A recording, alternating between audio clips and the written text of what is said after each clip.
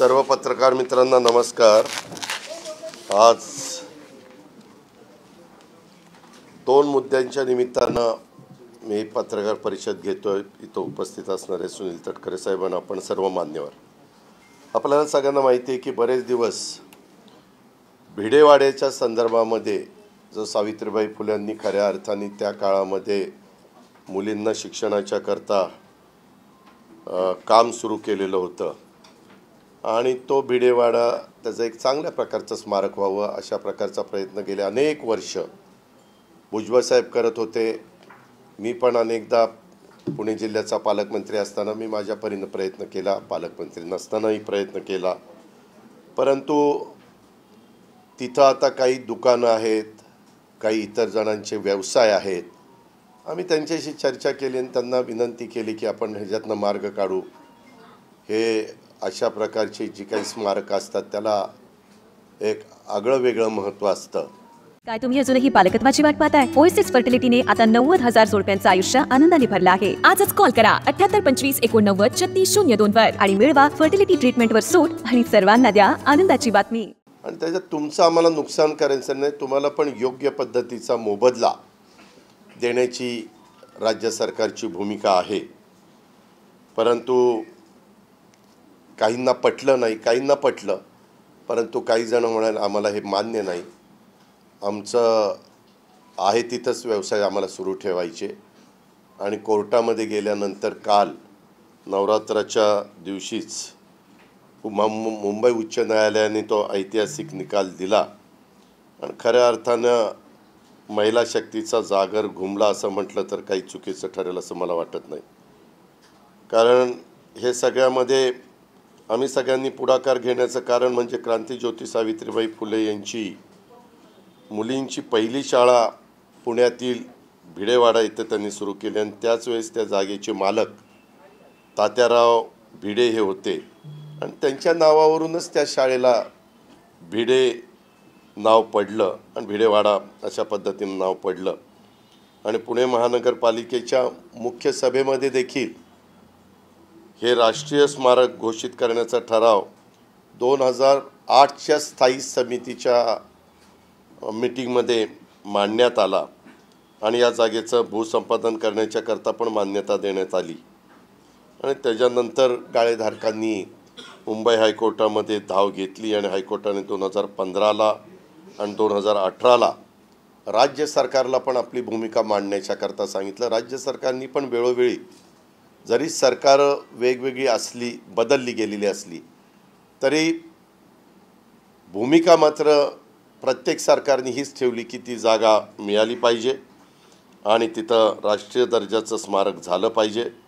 आणि या याचिकेवर साल दोन हजार वीसमध्ये शेवटची सुनावणी झाली. आणि त्याच्यामध्ये देखील मला खूपदा भुजबळ साहेबांचा विशेष उल्लेख करावा असा वाटतो की त्यांनी इतका आग्रह म्हणजे इतके ते आग्रही असायचे की अजित हे झालं पाहिजे. आपण सगळेजण तिथं असताना का होत नाही? कशात आपण कमी कुठं मांडायला आपण कमी पडतो? आणि त्याच्यामध्ये त्यांनी पण तो वाद त्यांच्या स्तरावर पण मिटवण्याचा प्रयत्न केला. परंतु नोव्हेंबर दोन हजार एकवीसमध्ये त्या वाड्यातील दुकानदार आणि रहिवासी यांच्यासोबत मी पण बैठक घेतली होती. भुजबळ साहेब पण त्या बैठकीला होते परंतु दुर्दैवाने यश मिळालं नाही. आणि पुण्यातील भिडेवाड्याच्या संदर्भात स्थानिक जे पोटभाडेकरूंनी पुणे मनपा आणि राज्य सरकारच्या विरोधात दाखल केलेली याचिका मुंबई उच्च न्यायालयाने फेटाळली. आणि भिडेवाडा हे क्रांतीज्योती सावित्रीबाई फुले यांचं स्मारक करण्याचा मार्ग अखेर मोकळा झालेला आहे. हे एक चांगली बाब आहे. मी पुन्हा पुण्याला गेल्यावर पण यांना बोलणार आहे. किंवा आता हायकोर्टाचा निकाल आपण सगळेजणं मान्य करूया. तुमच्या इतर काही गोष्टी असतील तर त्या चर्चेतनं आपल्याला सोडवता येतील. आणि कसं ते स्मारक लवकरात लवकर प्रत्येकाचं जे स्वप्न आहे ते पूर्ण होईल अशा प्रकारचा प्रयत्न आम्ही लोक करणार आहोत. हे मला प्रकर्षाने आपल्याला सगळ्यांना सांगायचं होतं. दुसरं पत्रकार मित्रांनो एक गोष्ट आपल्या सगळ्यांच्या लक्षात आणून द्यायची. आपल्याला सगळ्यांना माहिती आहे की मी माझं काम भले आणि मी भला मी जास्त काही कोणाच्या कॉमेंट्स कुणी केल्या तर त्याला उत्तरं वगैरे देत बसत नाही जसं त्याला लखलाप आपलं आपलं काम भले. असं करून मी माझा पुढं जात असतो. परंतु गेले तीन चार दिवस माझ्याबद्दल सातत्याने इलेक्ट्रॉनिक मीडियामध्ये आणि काही बाबतीमध्ये प्रिंट मीडियामध्ये पण बातम्या आल्या. मी त्या बातमीला जास्त महत्त्व दिलं नाही कारण तुम्ही सगळे पत्रकार मित्र आहात तुम्ही जर बारकाईने बघितलं तर तसा त्या बातमीशी माझा अर्थार्थी दुरान्वय देखील संबंध नाही. आपल्याला सगळ्यांना माहिती आहे की अनेक वर्ष पुणे जिल्ह्याचा पालकमंत्री मी फक्त नव्याण्णव ते दोन हजार चार साली नव्हतं त्याच्यानंतर ज्या ज्या सरकारमध्ये काम केलं त्यांनी मला पुण्याचं पालकमंत्री ठेवलं. अपवाद फक्त मी सरकारमध्ये नव्हतो तो काळ होता. आणि त्याच्यामुळं मेन नेहमीच माझी कामाची पद्धत असते की ज्या जिल्ह्याची जबाबदारी आपल्यावर असेल त्या जिल्ह्याचे विकासाचे प्रश्न मार्गी लागावेत. त्याच्यामध्ये ॲज अ गार्डियन मिनिस्टर या नात्याने ज्या काही आढावा बैठका घ्यायच्या असतात मी आत्ता पण उपमुख्यमंत्री शंभर दिवस झाले होऊन गेलो. त्याही वेळेस तुम्ही बघताय की माझ्याकडं अनेकदा अनेक बैठका चाललेल्या असतात. अनेक मिटिंग अनेक आढावा आम्ही घेत असतो. आणि त्या कामाला कशी गती देता येईल? काही प्रॉब्लेम असतील सर सॉल्व कसे करता येतील? अशा प्रकारचा आमचा प्रयत्न असतो. थोडंसं सुरुवातीला पत्रकार मित्रांनी बातम्या पण दिल्या. अजित पवार वित्त नियोजन खात्याचा मंत्री आहे. ह्या खात्याचे आढावा घेतो. त्या खात्याचा आढावा घेतो. वास्तविक आढावा घेतला म्हणजे काही जो त्या खात्याचा मंत्री असतो त्याचं काही काढून घेतलं अशातला होत नाही. उलट त्या मंत्र्यांना पण कधीकधी एखादी गोष्ट फायनान्समुळं थांबलेली असते. कधी एखादी गोष्ट प्लॅनिंगने काही प्रश्न निर्माण केलेले असतात कधी एखादी गोष्ट काही आणखीन कुठल्या डिपार्टमेंटचा प्रश्न येतो तिथं थांबलेली असते. कधी एखादी मिटिंग झाल्यावर पाठपुरावा होत नाही म्हटल्यानंतर थोडंसं ते साईडला काम पडतं. असं होऊ नये म्हणून आम्ही ते आढावा घेत असतो. आणि तसं पुण्यामध्ये देखील मी नेहमीच आढावा घेतो. पुण्यातल्या पत्रकार मित्रांना माहिती आहे पुणेकरांना पण सगळ्यांना माहिती आहे.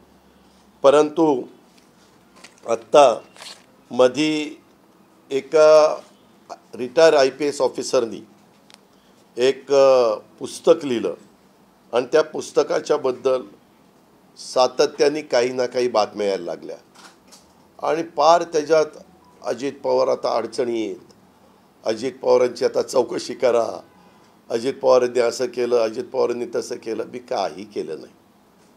मी आपल्याला सगळ्यांना सांगतो की त्याच्या संदर्भात मी एक क्लिप बघितली एका चॅनलला तत्कालीन विभागीय आयुक्त आणि राज्य शासनाचे म्हणजे दिलीप बंड यांनी सविस्तर स्पष्टीकरण केलं. त्याच्यामध्ये सदर प्रकरणातील कागदपत्रांचं मी अवलोकन केलं. ते बघता दोन हजार आठ साली हे प्रकरण सुरू झालेलं होतं.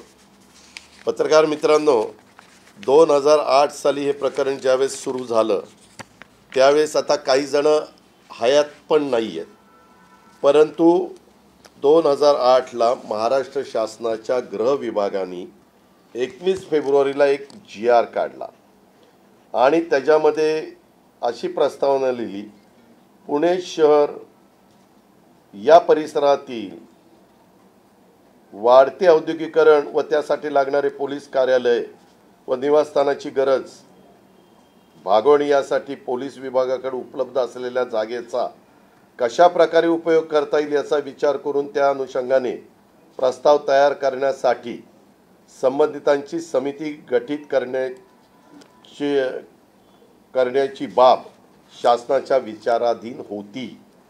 शासन निर्णय या बाबींचा विचार करून पुणे शहर परिसरात पोलीस विभागाकडे उपलब्ध असलेली जागेची पाहणी करून सदर जागेचं पोलीस कार्यालय व निवासस्थानाची गरज भागवण्यासाठी कशा प्रकारे उपयोग करता येईल हे तपासून त्यानुसार प्रस्ताव मान प्रस्ताव शासनास सादर करण्याकरता खालील प्रमाणे समितीची गठीत करण्याचा शासन मान्यता देण्यात येत आहे.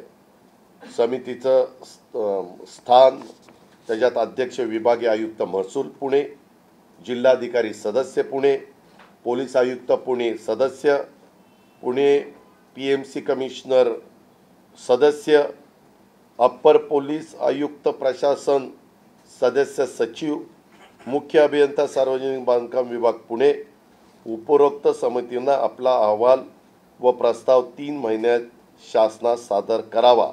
महाराष्ट्राचे राज्यपाल यांच्या आदेशानुसार गृह विभागाच्या कार्यस्थान अधिकाऱ्याचं सहीचं ही सहा जणांची समिती नेमली त्याचं हे पत्र.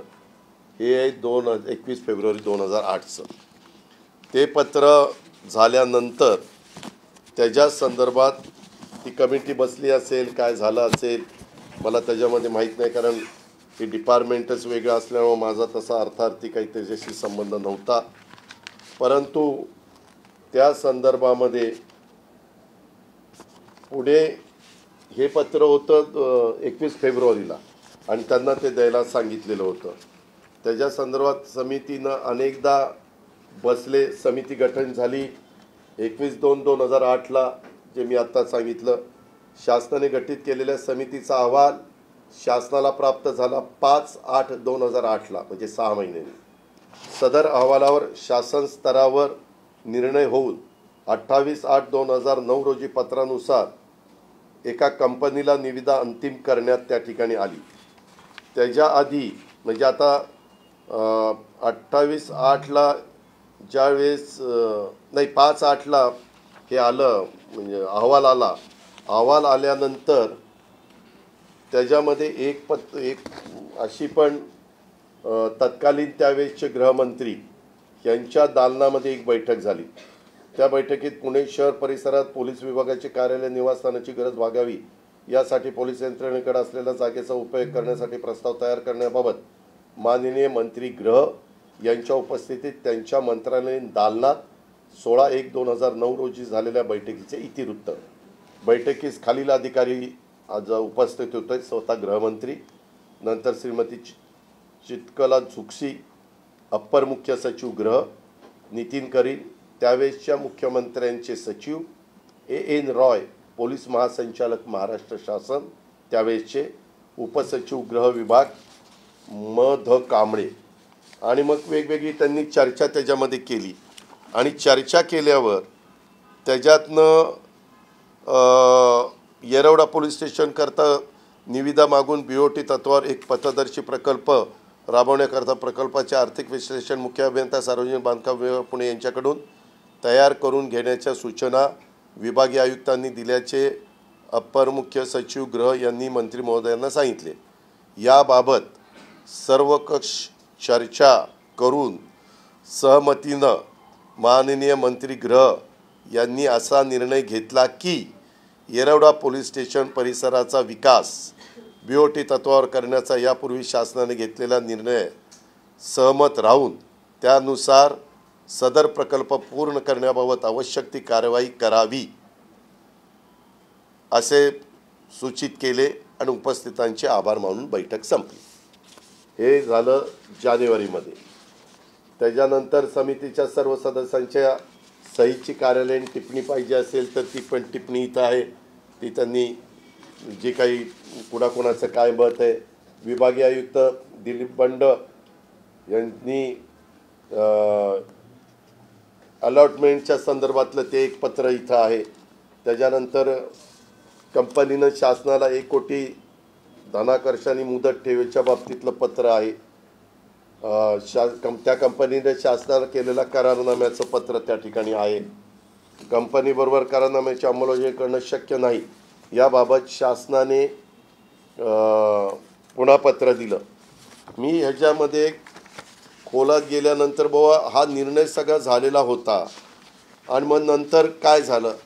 तर हा निर्णय काही कुणामुळं बदलला गेला नाही. काही जण असं दाखवतात किंवा मी विरोध केला म्हणून काल ज्यांनी दिल्लीमध्ये पत्रकार परिषद घेऊन सांगितलं तसं ह्याच्यात दिसत नाही. ह्याच्यामध्ये काय झालं? एक कंपनीच्या संदर्भामध्ये ईडीनं काहीतरी पुढची कारवाई केली आणि त्याच्यामध्ये ही कंपनी होती असं काहीतरी पुढं आलं. आणि त्याच्यामुळं हे सगळं सरकार दरबारीच सगळं रद्द करण्याचा निर्णय घेण्यात आला. आणि आज देखील ती जागा गव्हर्मेंट ऑफ महाराष्ट्राच्या ताब्यामध्ये पोलीस खात्याच्याच ताब्यामध्ये. पत्रकार मित्रांनो मला तुम्हाला दुसरं एक सांगायचं आहे आपल्या इथं छत्तीस जिल्हे छत्तीस जिल्ह्यामध्ये छत्तीस पालकमंत्री असतात. पालकमंत्री आपापल्या पद्धतीनं आढावा घेत असतात परंतु ज्या त्या खात्याच्या बद्दलच्या जागेचा निर्णय घेत असताना एक तर निर्णय घेण्याचा अधिकार कॅबिनेटला असतो कॅबिनेट सर्वोच्च असते. दुसरा अधिकार रेव्हेन्यूला असतो. कुठलीही जागा असली तर ती जागा त्या डिपार्टमेंटला डायरेक्ट देता येत नाही ती रेव्हेन्यूकडं महसूलकडं वर्ग करावी लागते. आणि मग महसूल ती कुणाला द्यायचं ते त्या ठिकाणी ठरवते. अशा प्रकारच्या आजपर्यंतच्या अनेक घटना आणि तुम्ही पण पत्रकार मित्रांनाही माहिती असेल की अशा प्रकारे कामाची पद्धत असते.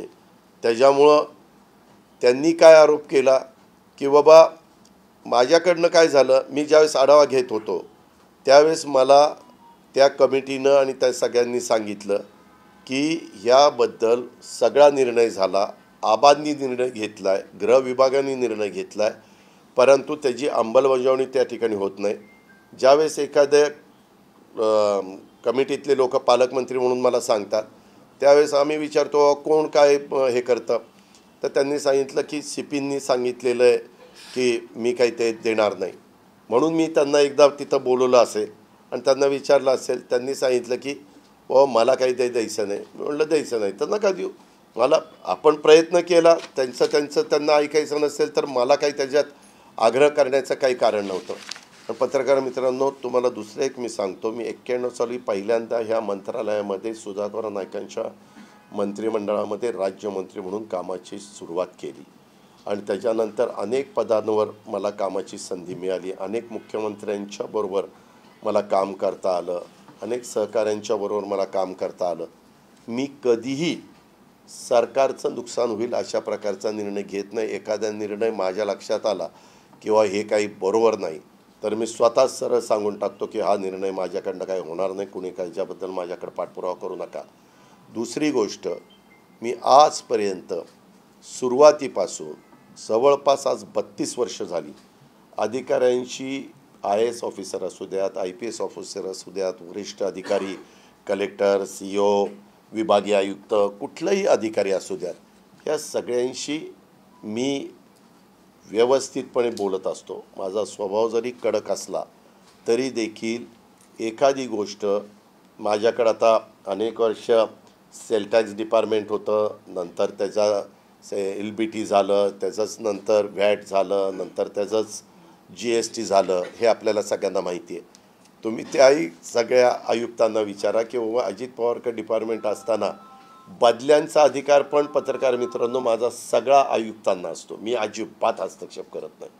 मी त्यांना सांगतो की मला माझ मला माझं म्हणण्यापेक्षा आपल्या सरकारचं उत्पन्न वाढवून द्या. तुम्हाला जे पोस्टिंग जिथं कुणाला करायचं तिथं करा. माझ्याकडे लोकप्रतिनिधी आले तरी मी सांगतो जी एस टी हे सगळ्यात जास्त उत्पन्न देणारं टॅक्स देणारं डिपार्टमेंट आहे तिथं तुम्ही कुणी अमका अधिकारी इथं ठेवा तमका अधिकारी तिथं ठेवा सांगू नका. कारण तसा आमदारांचा आणि जी एस टी डिपार्टमेंटचा अर्थार्थी संबंध येत नाही. आणि त्याच्यामुळं कधी अधिकाऱ्यांनी मला सांगितलं अनेक अधिकारी आत्तापर्यंत आत्ता तर बरेचसे रिटायर पण झाले चीफ सेक्रेटरी असतील किंवा इतर कुणी पण असतील. त्यांनी जर लक्षात आणून दिलं की अजित पवार हे अडचणीचं म्हणजे कायद्याच्या नियमाच्या चौकटीमध्ये बसत नाही तर मी फार काही त्याच्यात आग्रह करत नाही. मी सरळ सांगतो की ते सोडून द्या बाजूला ठेवा आणि त्या पद्धतीनं पुढं जावा. ह्यामध्ये त्या पुस्तकाच्या निमित्तानं कदा कदाचित त्या व्यक्तीला असंही वाटलं असेल की बाबा आपण पुस्तकामध्ये म्हणजे त्यांनी पण काल बोलताना सांगितलं त्या पुस्तकात बरंच काही आहे.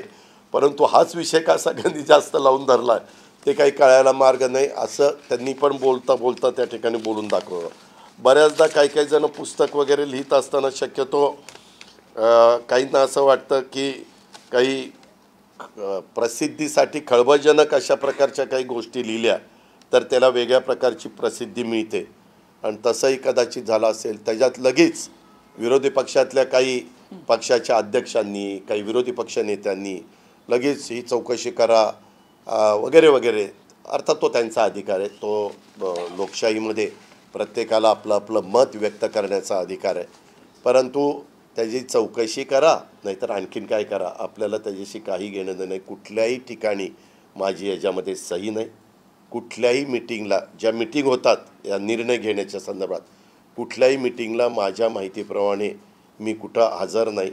फक्त वेगवेगळ्या बाबा कुठले महत्त्वाचे प्रश्न आहेत आणि कुठले आढावा. कारण तुम्ही बघा काल त्या बोलत असताना असंही बोलल्या.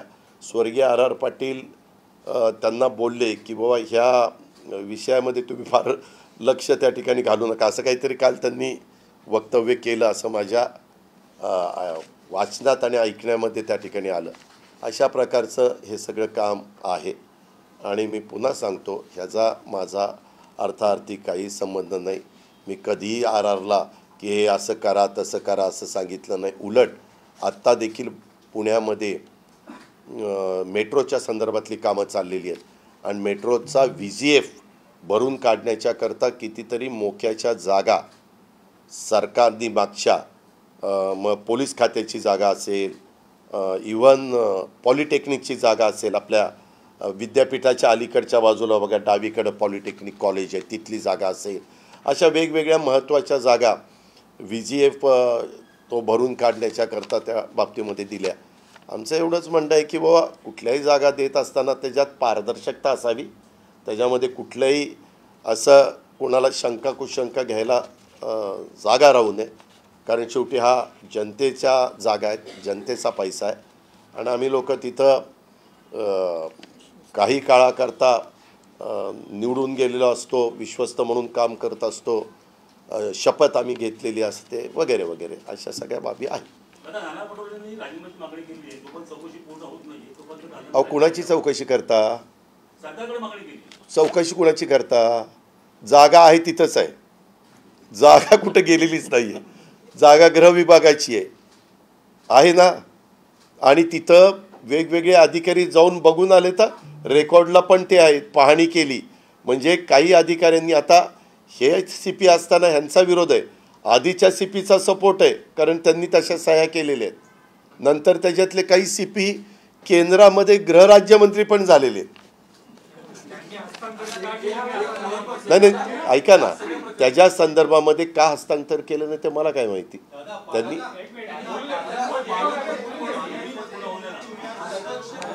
एखादी विचारा.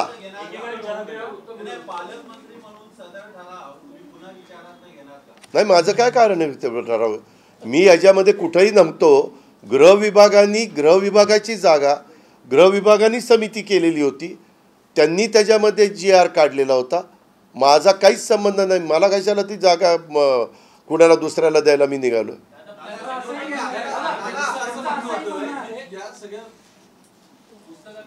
हा?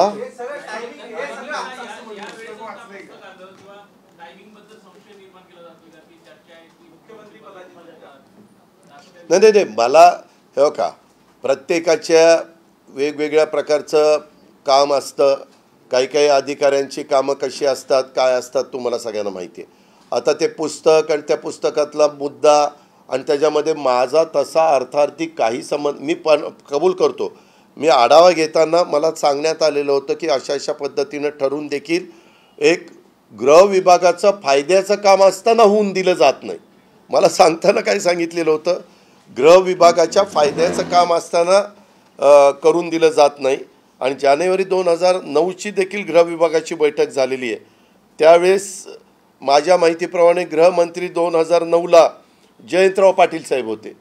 म्हणजे याच्यात दोन्ही तसं सांगलीकर गृहमंत्री होते. एक स्वर्गीय आर आर पाटील होते आणि एक जयंतराव पाटील होते. आणि सव्वीस अकराला आपलं जयंतराव आर आरनी राजीनामा दिला. आणि एक वर्षाच्या करता मला वाटतं जयंतरावांना त्यावेळेस पक्षाने गृहमंत्रीपदाची जबाबदारी दिली होती. एकच एकच एकच एकच मिनिट.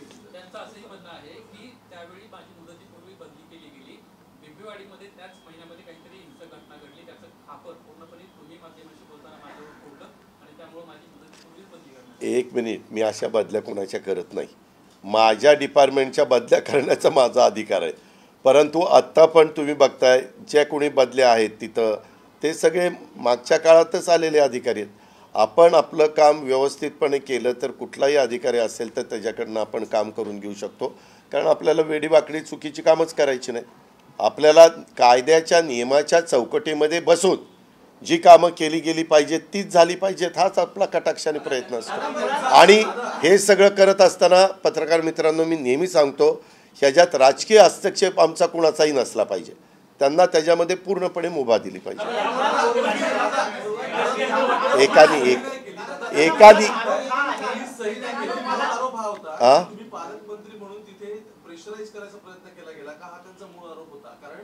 या सगळ्यानंतर तुम्ही प्रेशराईज करत असल्यास त्यांचं म्हणणं आहे आणि या सगळ्यानंतर त्यांना शेवटी गृहमंत्र्यांकडे जावं लागलं जे फायनली या सगळ्यावरती कन्व्हिन्स झाले आणि म्हणून तो निर्णय नाही नाही नाही नाही मी कधी कधी मी तुम्हाला पुन्हा सांगतो तुम्ही विभागीय आयुक्त वेगवेगळे आम्ही बसतो ना आढावा आता मी परवा दोन दिवस पुण्याचा आढावा घेतला. वेगवेगळे प्रश्न इतके पुण्यामध्ये प्रश्न असतात मेट्रोचे प्रश्न असतात महावितरणचे प्रश्न असतात ट्रॅफिकचे प्रश्न असतात तुम्ही कोयता गँगचे प्रश्न असतात वेगवेगळे अनेक प्रश्न. ससूंच्या मध्ये तो काही प्रश्न निर्माण झालेले होते. आणि त्या संदर्भात त्यांनी मला कुणी सांगितलं की बाबा अशा अशा प्रकारे आमची समिती नेमली असं झालं आहे तसं झालं आहे आणि ती जागा आपल्याला गृह विभागाला चांगल्या प्रकारे घरं बांधून मिळत आहेत क्वार्टर्स बांधून मिळत आहेत त्यांची प अवस्था अतिशय दयनीय आहे. आणि कुठंही नुकसान नाही उलट आहे ते फायद्याचंच आहे वगैरे वगैरे. तर मी म्हणलं मग कुणाचा विरोध आहे? तर ते म्हणले की व आत्ताचे जे सी पी आहेत त्यांनी विरोध केलेला आहे. म्हणून म्हणलं त्यांना बोलवा. त्यांना विचारलं तर ते म्हणले नाही माझ्या बुद्धीला पटत नाही. म्हणलं पटत नाही तर राहू दे. त्याच्यावर ह्याच्या पक्षापे मी काय केलं आताच ही सगळी बातमी किंवा आता जे पुस्तक पुढे येणं बातमी होणं त्याची याचं हे जे टायमिंग आहे कारण चर्चा हे काम पत्रकार मित्रांचं आहे. की हेच टायमिंग गाठायचं कारण काय? मला काय करायचं?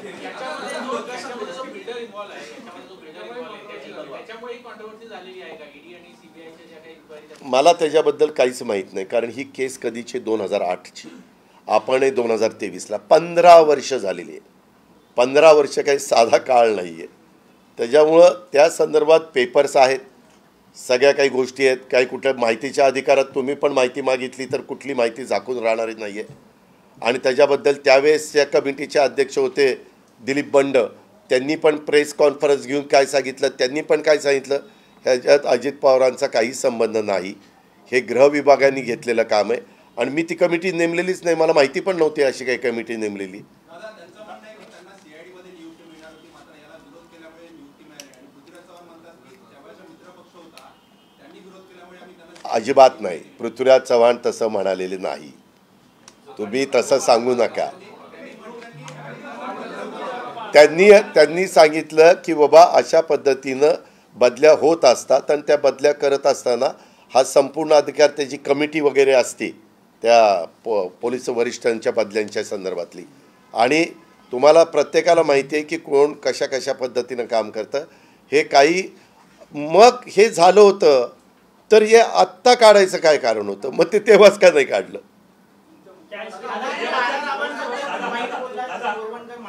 काय?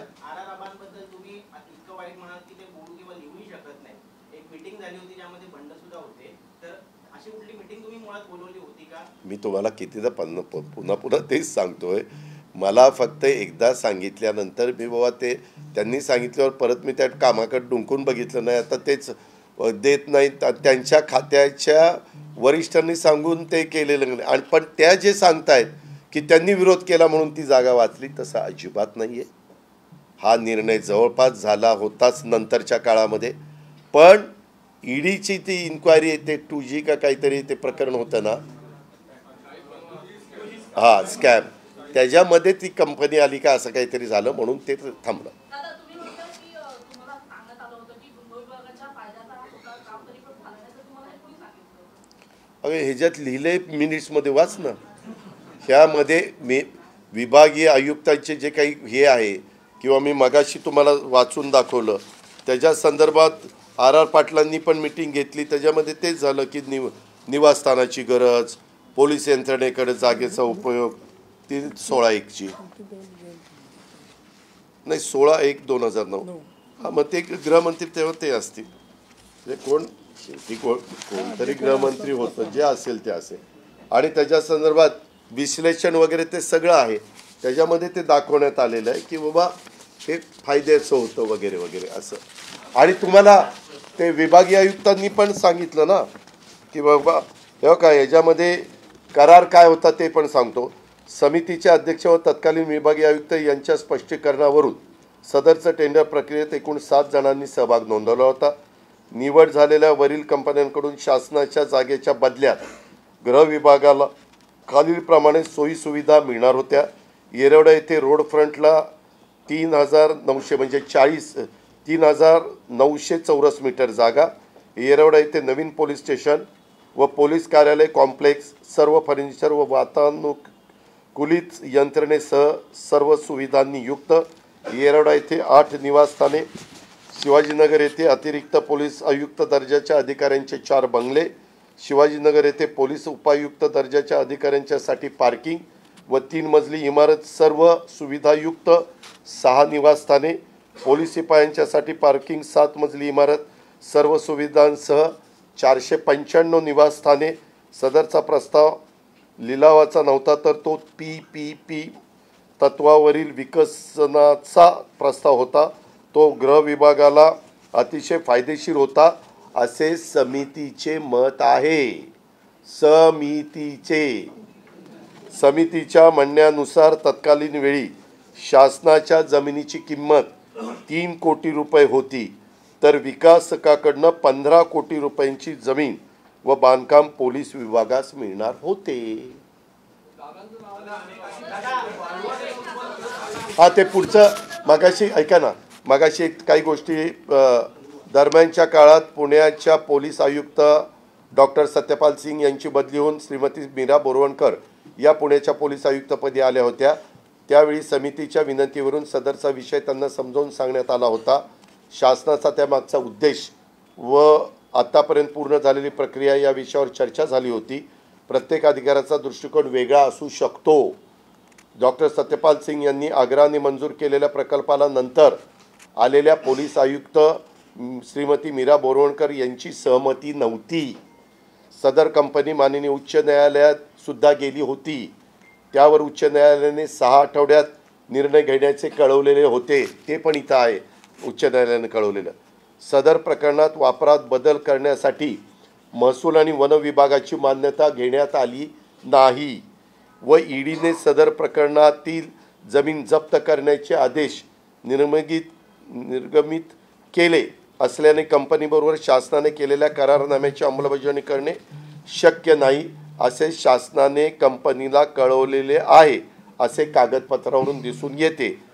सरकारी अभियोक्ता यांच्या अठ्ठावीस अकरा दोन हजार सोळाच्या शासनास दिलेल्या पत्रावरून शासनाने सदरचा करारनामा शासनावर बंधनकारक नसल्याने तो रद्द करण्यास कंपनीला कळवले. आणि मगाशी मी तुम्हाला सांगत होतो की ह्याच्यामध्ये सदर कागदपत्राचं अवलोकन केलं असताना सदरचे प्रकरण दोन हजार आठ साली सुरू झाल्याचं दिसून येतं. सदर प्रकरणात मूळ प्रस्ताव हा गृहविभागाचाच होता. त्यावेळी स्वर्गीय आर आर पाटील गृहमंत्री होते आणि त्याच्यानंतर जयंतराव पाटील गृहमंत्री होते. त्यावेळी चितकला जुगसी या अप्पर मुख्य सचिव गृह होत्या व डॉक्टर सत्यपाल सिंग हे पुण्याचे पोलीस आयुक्त होते. सदरच्या विषया अनुषंगाने शासनाने गृह विभागाची ती कमिटी मी तुम्हाला सांगितली. वरील समितीने सविस्तर विचारविनिमय करून सहा महिने अभ्यास केला. दुसऱ्या महिन्यात कमिटी केली आणि आठव्या महिन्यात अभ्यासांती. सविस्तर विचारविनिमय करून अभ्यासांती. पाच आठ दोन हजार आठला शासनाला अहवाल सादर केला. तत्कालीन अमुस ग्रह यांनी सुद्धा सदर ठिकाणी दोन वेळाला भेट दिली. त्या अहवालावर शासन स्तरावर निर्णय होऊन अठ्ठावीस आठ दोन हजार नऊ रोजी त्या कंपनीला मेसर्स एव्हर स्माईल कंपनीला निविदा अंतिम करण्यात आली. लेटर ऑफ अलॉटमेंट देण्यात आलं. शासनातर्फे नोंदणीकृत करारनामा करण्यात आला. आवश्यक ती बँक गॅरंटी देण्यात आली. हा संपूर्ण विषय हा गृह विभाग व शासनाने नेमलेल्या सहा सदस्यीय समिती हाताळत होती. या विषयाचा माझा काहीही संबंध नव्हता. सदर समितीमध्ये पुण्याचे तत्कालीन पोलीस आयुक्त सत्यपाल सिंग हे पोलीस अधिकारी होते. ते आपल्या देशाचे नंतर गृहराज्यमंत्री बनले.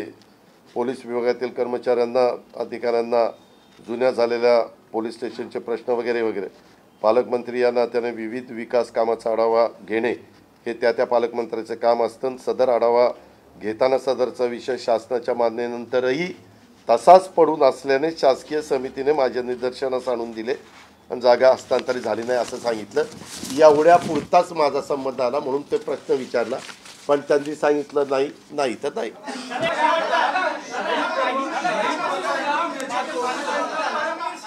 एकाने एकाने एक अरे एकानी एकानी आता काहींची इच्छा नसताना पुण्याचे पालकमंत्री झाला आणि त्यानंतर दोन हजार आठचं प्रकरण असं उकरून काढलं जात आहे काय नाही रे. या बाग अजिबात योगायोग नाही. अजिबात नाही.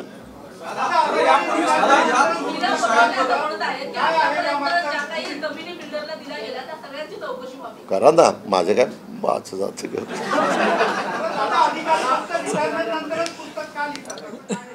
अहो मला तर एकाने माझ्या डोक्यात आज सांगितलं की I S I P S officer महत्त्वाचे अधिकारी रिटायर झाल्यानंतर अशा पद्धतीनं काही लिखाण करायचं म्हटलं तर त्याची पूर्व परवानगी घ्यावी लागते म्हणे. असं मला आत्ताच मी इकडे तुम्हाला भेटायला येत असताना सांगितलं. खरं खोटं देवाला पाहिजे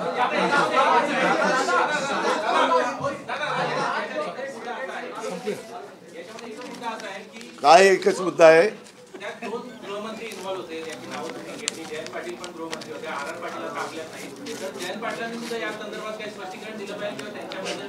नाही पण अहो माझं काय म्हणणं आहे कुणी स्पष्टीकरण द्यायचं काही कारण नाही. जर जागाच तिथं आहे तर स्पष्टीकरण देऊन शेळ्याकडीला शेळ्या कडीला ऊत कशाला आणायचं चाललंय? ह्याच्यात कुठंच काही नुकसान एक तर अजून ती कमिटी म्हणते की पंधरा कोटीचा फायदा होणार होता तीन कोटीची जागा होती. आता तोही मुद्दा राहिलेलाच नाही ना. ह्याच्यात जर देऊन काही झालं असतं तर बाबा चौकशी करा. खरंच पंधरा कोटीचा फायदा झाला का?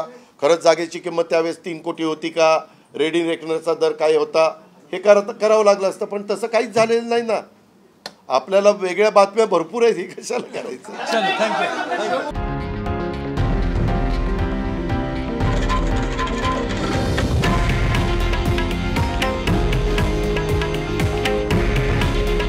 हे आहे देशातील नंबर वन न्यूज नेटवर्क आणि आपण पाहत आहात टी व्ही नाईन मराठी. काळजी तुमची हित महाराष्ट्राचं.